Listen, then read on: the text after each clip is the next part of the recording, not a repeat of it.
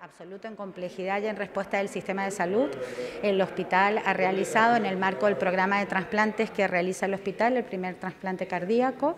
Eh, el paciente está evolucionando bien, eh, con lo cual bueno, tenemos muchas expectativas en su recuperación y esto implica una complejidad y una respuesta en el sistema de salud público eh, muy importante. Es, es uno de los cinco hospitales a nivel nacional del sector estatal que realizan trasplantes, lo que lo pone eh, en un punto estratégico y verdaderamente encabezando los hospitales eh, no solo de la región, sino de la República Argentina en complejidad de prestaciones. Aquí hablando con, los médicos cirujanos, los jefes de servicio, el, equipo compuesto por el doctor Felici, Ferrara, eh, el jefe de, departamento de trasplantes del Hospital Central comentaban que aún en pandemia no se disminuyó la actividad, se siguieron realizando trasplantes eh, hepáticos, renales, eh, ahora cardíaco, lo que implica bueno, una perspectiva integral de la salud pública. ¿no?